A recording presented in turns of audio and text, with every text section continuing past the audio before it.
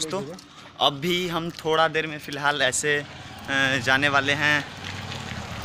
ऐसा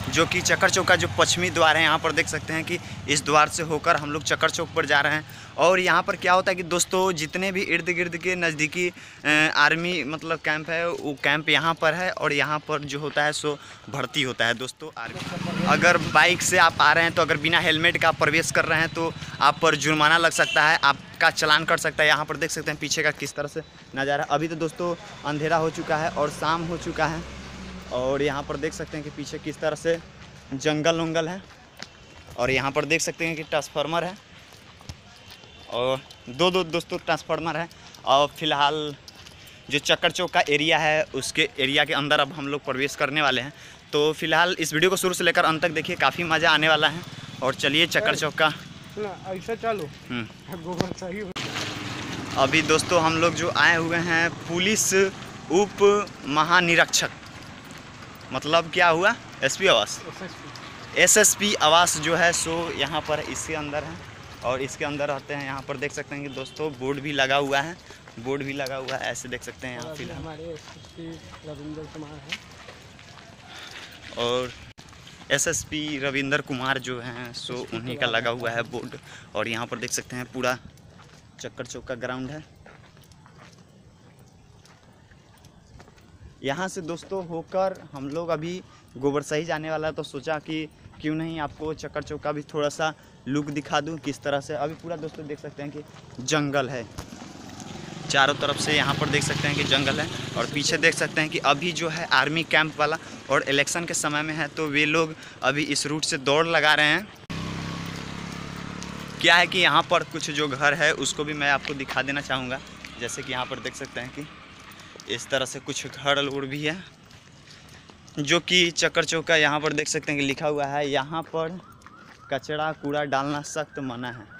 वहाँ देख सकते हैं कि बोर्ड लगा हुआ है। यहाँ पर देख सकते हैं कि हॉस्पिटल है, जो कि काफ़ी बड़ा है।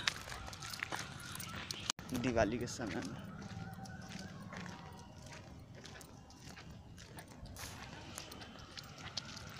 पीछे वाला था।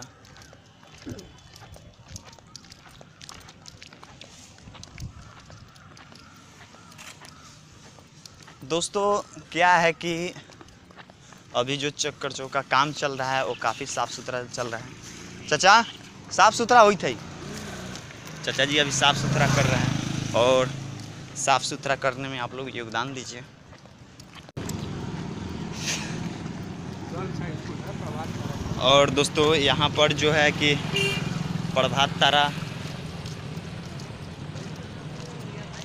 दोस्तों, यहाँ पर जो है so girl school Prabhat Tara जो स्कूल है, सो यहाँ पर है, आप देख सकते हैं यहाँ पर किस तरह से उसका नज़ारा है।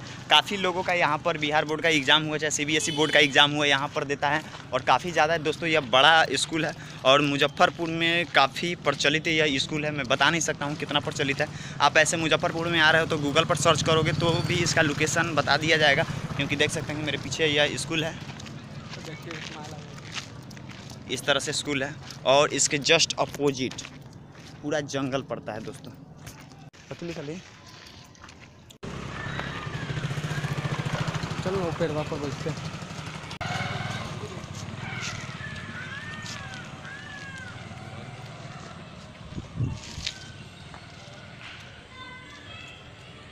फ़िलहाल अभी दोस्तों यहाँ पर देख सकते हैं कि जो चक्कर चौका है, वहाँ पर हम हैं और यहाँ पर देख सकते हैं कि अभी हम एक फ्रेंड का इंतज़ार कर रहे हैं जो कि यहाँ पे आने वाला है दोस्तों। और यहाँ पर देख सकते हैं पीछे से जो रोड था, देख सकते हैं कि रोड उसे बंद कर दिया गया है, जो कि यहाँ पर हुआ करता था और रोड को बंद कर दिया गया है। और यहाँ पर कुछ इस तरह से दोस्तों अभी तो रात है, दिख नहीं रहा है। वहाँ पर वहाँ पर देख सकते हैं कि वह बोर्ड एक लग गया है कि इसके आगे जाना मना है दोस्तों। तो इसके आगे हम नहीं जाएँगे, ऐसे यहाँ पर बहुत सुकून का हवा बह रहा है, बता नहीं सकते हैं। इतना अच्छा रूम पर भी हवा नहीं बहता है और यहाँ पे बहुत अच्छा हवा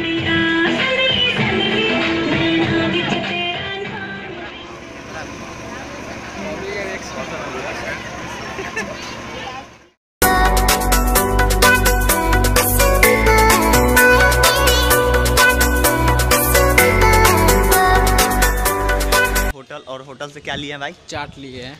और होटल से दोस्तों, चाट लिए हुए हैं। कोनो चाटने की बात नहीं हो रही है। देखिए दोस्तों, घूमते घूमते फिरते अंकित भाई भी मिल गया है। अगर यह वीडियो पसंद आता है तो इस वीडियो को लाइक कर दीजिए, हमारे चैनल पर नए हैं तो हमारे चैनल को सब्सक्राइब कर दीजिए। फिर मिलते हैं एक नए ब्लॉग के साथ। यहीं पर करते हैं इस वीडियो को एंड। जय हिंद, जय भारत।